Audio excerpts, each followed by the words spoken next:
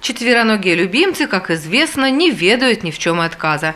Не обязательно быть чистопородным чемпионом выставок. Преданный взгляд и безусловная любовь смягчит самое черствое сердце хозяина. Этим нехитрым обстоятельством воспользовались основатели Центра услуг для братьев наших меньших из Сталина.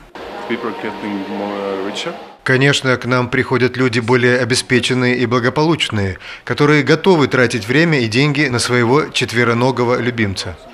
Мы взяли пример Запада, где с каждым годом все больше жителей хотят заботиться о ком-то. А если хочешь своего любимца чем-то побаловать, это не так-то легко. Поэтому мы и решили сделать все услуги для животных под одной крышей.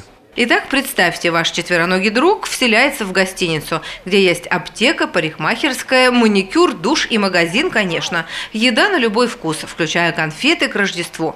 Для тех, кто бережет фигуру, вместо десерта покупаем весы и обязательно одежду по последней моде. Ведь на носу зима.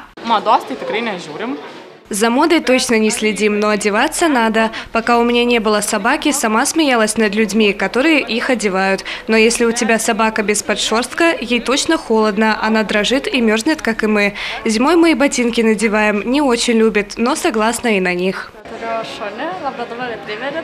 У меня лабрадор-ретривер, довольно крупная собака. Когда впервые попытались одеть его в жилет, он не одобрил, с трудом преодолели стресс, но после он привык, сам требует одеться перед прогулкой.